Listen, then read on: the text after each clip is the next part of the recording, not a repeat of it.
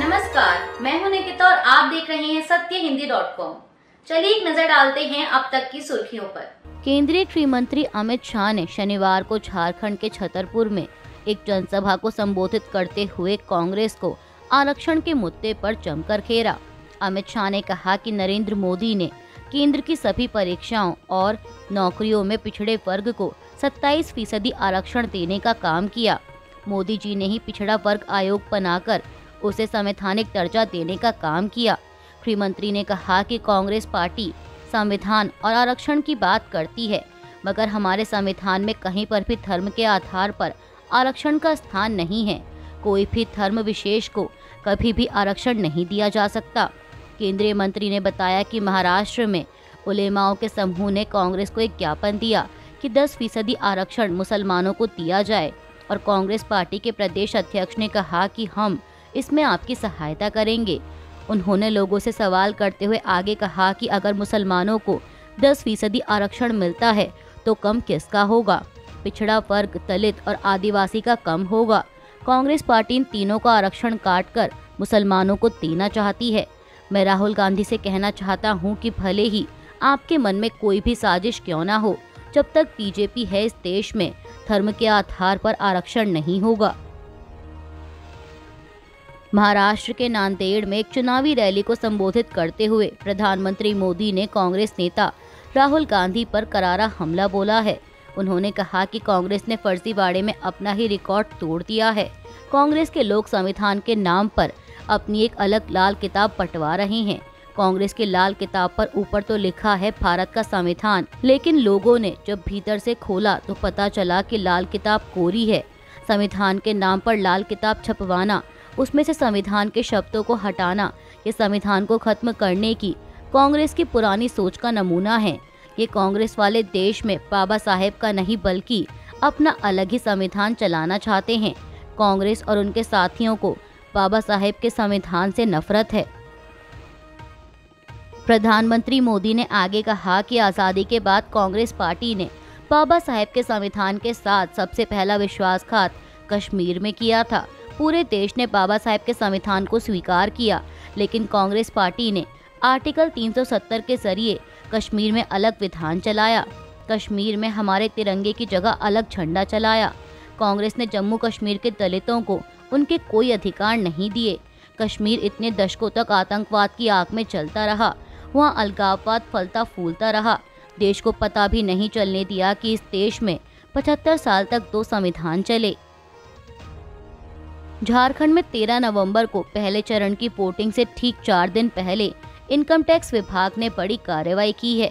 Media reports के मुताबिक मुख्यमंत्री हेमंत सोरेन के निजी सचिव सुनील श्रीवास्तव और उनके करीबियों के यहाँ इनकम टैक्स विभाग ने छापा मारा है। इनकम टैक्स विभाग की यह रेड रांची के अलावा जमशेदपुर में चल रही है। बताया जा रहा है कि रांची में सात जगह और जमशेदपुर में चार जगह के करीब छापेमारी चल रही है। इनकम टैक्स विभाग की रेड में जमशेदपुर के अंजानिया इस्पात समेत अन्य ठिकाने भी शामिल हैं।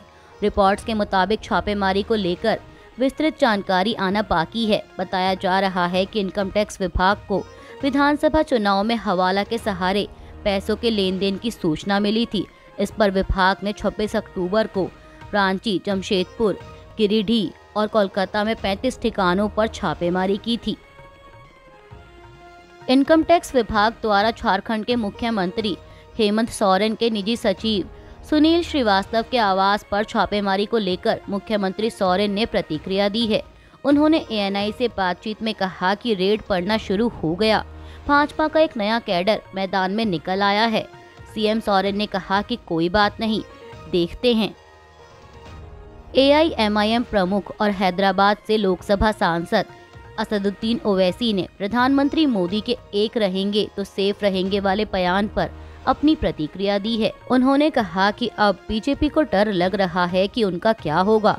औरंगाबाद क्षेत्र में दूसरे नंबर पर सबसे ज़्यादा किसानों ने आत्महत्या की है। 324 किसानों ने आत्महत्या की।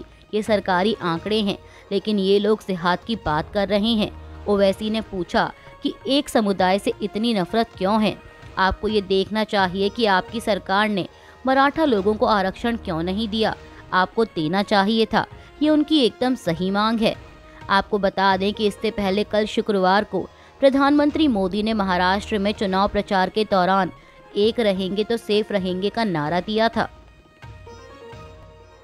देश के पूर्वोत्तर राज्य मणिपुर में हिंसा की आग अब तक भी शांत नहीं हुई है। सामने आ रही ताज़ा जानकारी के मुताबिक मणिपुर के चीरीपाम ज़िले से एक दिल दहलाने वाली घटना सामने आई है। जानकारी के मुताबिक गुरुवार 7 नवंबर की रात एक इकतीस साल की आदिवासी महिला के साथ बलात्कार किया गया और फिर उसे ज़िंदा चला दिया गया। इस दौरान हथियारबंद हमलावरों ने गाँव में ताबड़तोड़ फायरिंग के साथ लूटपाट और आगजनी की। बताया जा रहा है कि हमलावरों ने सत्रह घरों को जलाकर राख कर दिया। पुलिस के मुताबिक इस घटना में पीड़िता के साथ सामूहिक बलात्कार और हत्या की वारदात को अंजाम दिया गया है। पीड़िता के पति ने पुलिस को शिकायत दी और बताया कि ये कृत्य अवैध घुसपैठियों की ओर से किया गया था, लेकिन हमलावरों की पहचान अब तक नहीं हो पाई है। पुलिस सूत्रों के अनुसार संदेह है कि हमलावर मणिपुर के स्थानीय इलाकों से हो सकते हैं।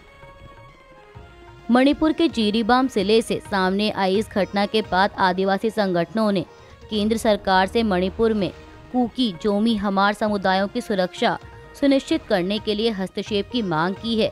मीडिया रिपोर्ट्स के मुताबिक चुरा चांदपुर के आदिवासी संगठन इंडिजेंस ट्राइबल लीडर्स फोरम ने भी इस जघन्य अपराध के जिम्मेदार लोगों की तत्काल गिरफ्तारी की मांग की है।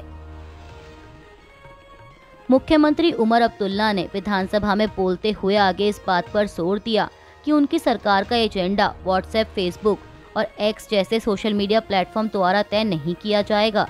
पीटीआई की एक रिपोर्ट के मुताबिक, विधानसभा में उपराज्यपाल के अभिभाषण के लिए धन्यवाद प्रस्ताव पर अपने जवाब के दौरान अब्दुल्ला ने कहा कि भगवान का शुक्र है।